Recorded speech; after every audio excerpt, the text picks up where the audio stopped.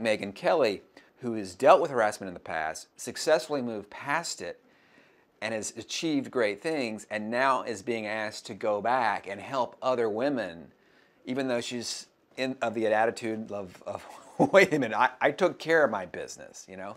That's interesting. So that conflict interested me a lot. Gretchen's conflict interested me a lot, which is someone who basically knows that by suing, she's essentially condemning everyone to believe that this is some form of sour grapes, this is some form of an attempt to redeem a failed career, yet still has the courage to do so, still has the drive to do so.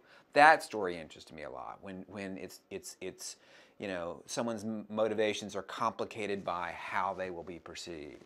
And then Kayla's motivation, we, the story we never hear is the story of the woman who says yes, right? Uh, and I necessarily couldn't put that uh, on a real person. I had to make that character up. I knew that from the beginning.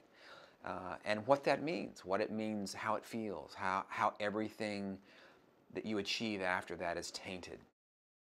The conversation that I want the film to engender is one about, you know, how we define sexual harassment, how we experience it, and how that how that is something that doesn't necessarily have to be petty or partisan, which I think so much of this now is people pointing the finger at other people's you know responses and, and evaluating it and judging it by introducing a very clear arena of quid pro quo harassment that is clearly illegal and limiting the film largely to that.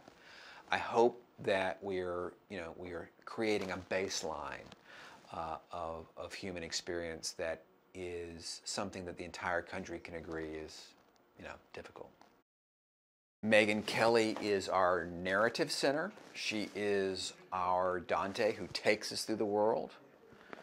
But it's Gretchen Carlson who's our moral center, who really frames the issue for us and makes the more heroic choice.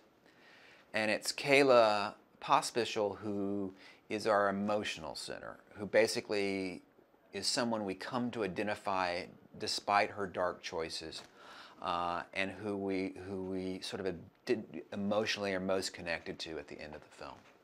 So the idea was to tell, tell a story with three leads functioning very differently across the piece.